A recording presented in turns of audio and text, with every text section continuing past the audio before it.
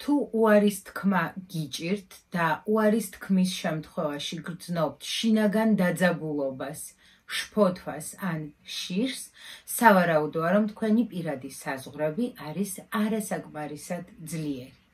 ადამიანი, რომელსაც ერთნაირად შეუძლია როგორც თანხმობის, ასევე უარის თქმა, ფლობს ძლიერ პირად საზღვრებს და კარგად შეუძლია განსაზღვრა მისთვის სასურველი ან არა სასურველი მოვლენების.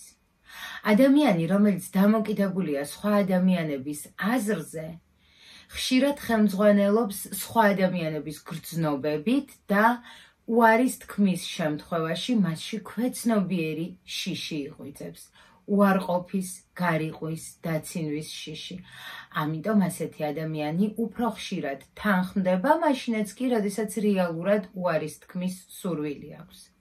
რაც უფრო მეტი კი არის ნათქვამი უარის მაგივრად, მით უფრო ძლიერია შინაგანი დაძაბულობა და მით უფრო დიდია ადამიანის ორგანიზმზე სტრესორების ზეგავლენა.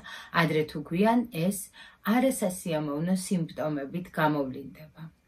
იმისათვის რომ ეს არ მოხდეს, ადამიანმა უნდა ისწავლოს საკუთარი პოზიციის პირველ რიგში გარჩევა და შემდეგ უკვე ამ პოზიციის გაჟღერება ყოველგვარი შიშისა და შფოთვის გარეშე.